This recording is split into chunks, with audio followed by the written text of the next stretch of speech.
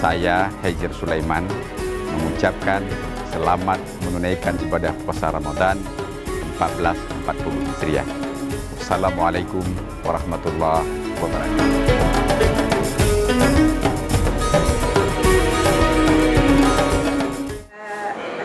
Ini eh, mau tanya deh ini gimana kabarnya setelah sekian lama tidak bersama kita di Banda Aceh?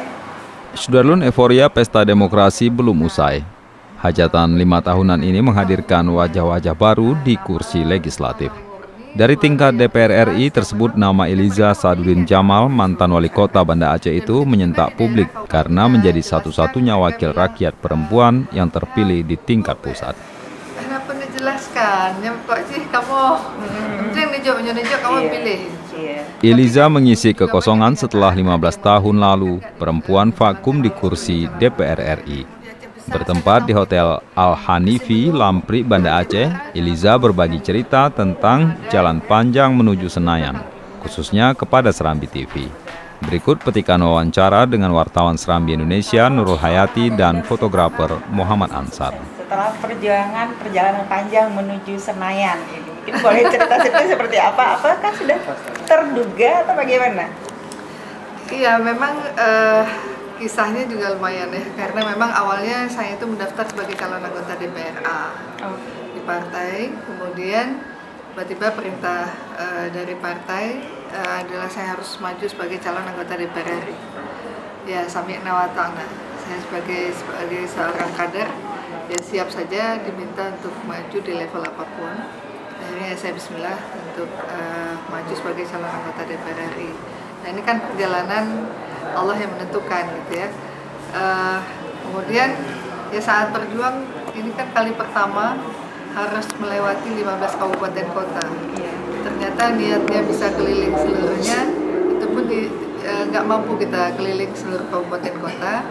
Ya karena memang eh, yang kita rencanakan mungkin rencana Allah itu lebih baik. ya. Jadi saya juga merasa, aduh kenapa nggak bisa habis ya keliling gitu. Tapi tentunya partai sebelum menunjuk dari DPRA ke DPR RI pasti punya pertimbangan khusus. Apa yang dilihat dari sosok seorang Bunda ini? Nah, saya itu kurang paham juga ya, karena memang eh, partai tidak mengatakan alasan, tetapi ya mungkin dari sisi pengalaman.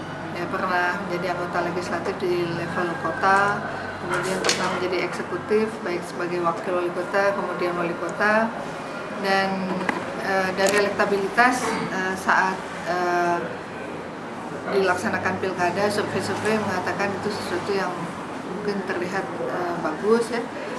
Kemudian perempuan dan ya satu-satunya perempuan waktu itu duduk di jabatan eksekutif ya tentunya sudah punya nama dan sudah diketahui dikenal. Nah, itu Artinya- menjadi modal. Artinya sebagai incumbent pemain lama itu akan sangat dipertimbangkan ya.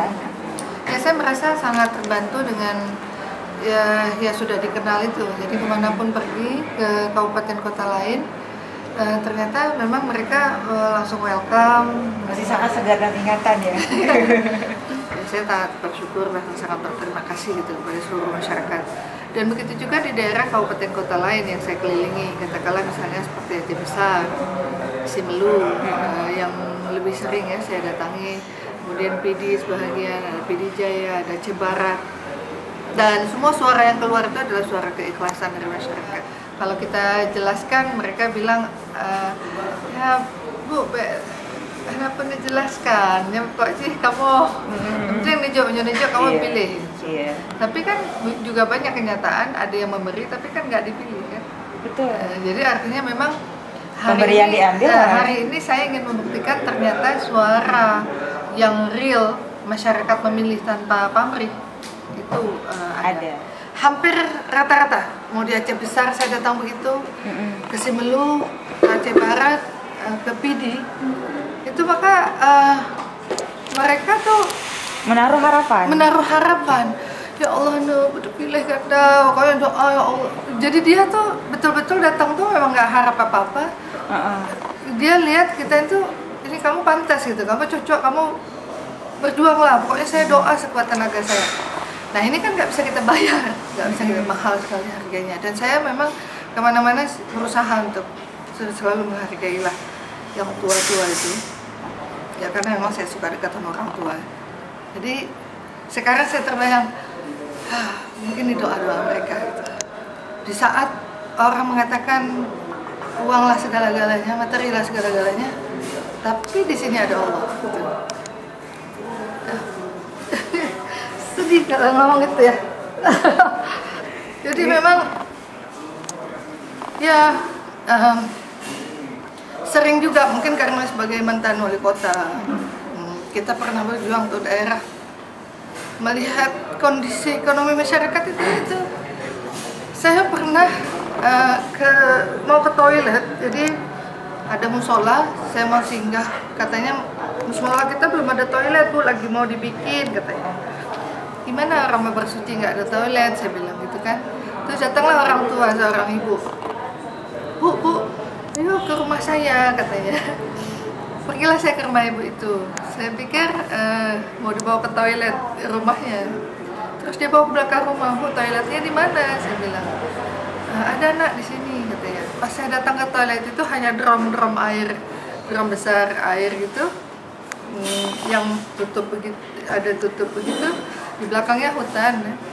Terus saya bilang bu uh, ini toiletnya iya nak di sini katanya. Terus saya bilang terus nanti ada yang lihat. Kan nggak ada yang lihat di sini nggak apa-apa gitu terus saya iya iya terus sudah saya ini saya jagain kata ibu itu sambil bercanda saya bilang bu kalau ibu kan udah tua dilihat juga nggak apa-apa. Kalau saya gimana? Dia langsung ketawa peluk saya dia bilang nah katanya. Tapi saya beginilah kehidupan bersyukur penting ibadah kita tetap bisa jalan sama Allah gitu. Jadi artinya memang yang kita lihat potret keimanan itu di, walaupun dalam kondisi kekurangan mereka bersyukuri itu. Mereka menikmati itulah ini yang kami punya. Karena memang perempuan ini uh, sudah sekian lama belum pernah ada keterwakilan perempuan di DPR RI.